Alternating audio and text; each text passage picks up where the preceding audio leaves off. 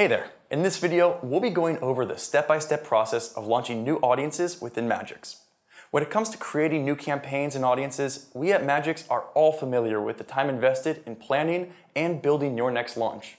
With that in mind, we've built a tool that will enable you to launch a full funnel strategy in just a few clicks. We've gathered expert media buying knowledge from thousands of advertisers in every industry and used it to create a launching tool with dozens of proven audiences that you can use to instantly target those you should be. Our team has designed this tool in a way that works hand in hand with our analytical tools, allowing you to use the information you've gathered and act upon it, growing and scaling areas of the account quickly and efficiently. We've divided these audiences into the four segments of our ARR strategy, acquisition prospecting lookalike, acquisition re-engagement, retargeting, and retention. If we look into the re-engagement segment, these are people who have heard of or engaged with your brand in some way, but have yet to reach your website. Examples of these audiences are Instagram followers or fans of your brand's Facebook page. It also includes those that have watched one of your videos or interacted with your ads. In the second segment of acquisition, prospecting lookalikes, we have audiences of people who don't know your brand yet, and you may refer to them as cold audiences. If your pixel is new and does not have enough data to build lookalike audiences, you can always use our Audience Studio tool to discover hidden interests you might be missing out on. And if you have any questions regarding the amount of data required to create effective lookalikes, you can always check out our app guide or reach out to our support team. Along with the more than 50 acquisition audiences offered, we've also enabled a default exclusion audience titled Madgicx Non-Acquisition, which will automatically exclude all visitors in the last 30 days and all purchasers in the last 180 days. This is done to ensure that you are launching clean acquisition. Once people visit your website, they become retargeting audiences, or as others may describe them, warm audiences. These are some of the most profitable that you can target as they've already shown significant interest in your brand. We allow you to build retargeting audiences based on the recency of their visit or the level of their intent to convert. And lastly, we have retention audiences, which are your existing customers. These audiences are your low-hanging fruit. They're simply used to upsell or recover people who already trust you and your brand's products or services. Among the audiences offered within Madgicx launcher are 27 AI-backed audiences created and optimized by the Magic software.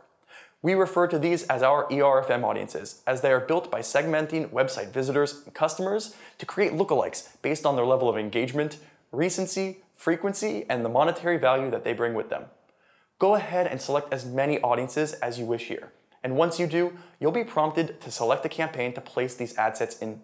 The first option provided is Madgicx default structure, which automatically places the ad sets in designated campaigns based on their funnel stage.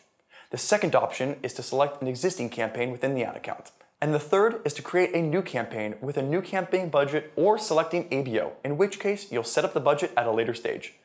After completing this step, you'll find yourself in the Madgicx ad picker, which allows you to select your top performing ads based on a given time frame and a KPI of your choice.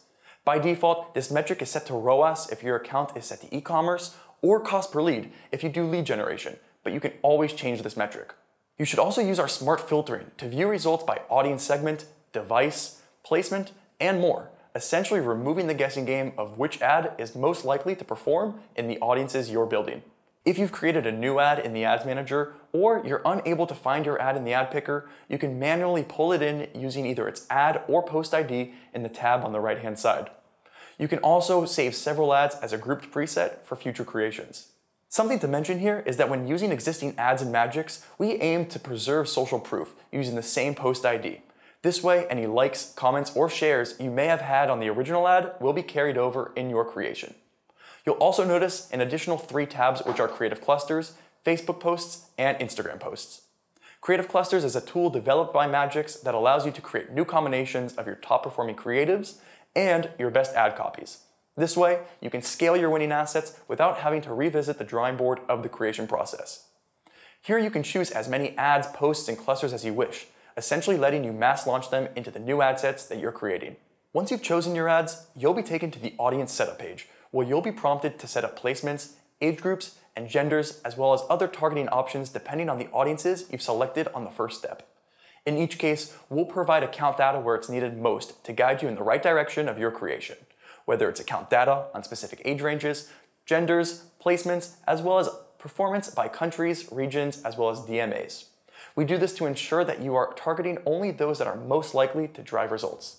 Another amazing feature of this tool is the ability to A-B test by clicking the copy button on one of the audiences above. Here, you can implement small changes, such as different lookalike percentages or different placements in order to compare the results later on.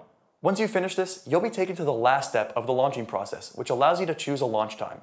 You can choose to launch now, at midnight, at a specific hour, or at an optimized time which is recommended by Madgicx. Further below, you'll find the naming structure of your ad sets, which you can easily edit with just a few clicks. Now that you've gotten through all of the steps, just click Next your creation will be processed and you should see it in your ad account within the next 5 to 10 minutes. When it comes to launching ads, we wanted to build a seamless, analytics-backed process that makes launching a worry and hassle-free experience and unstructured accounts a thing of the past. Go ahead and launch your own full funnel strategy using the Madgicx Launcher and see how it matches up against your current structure.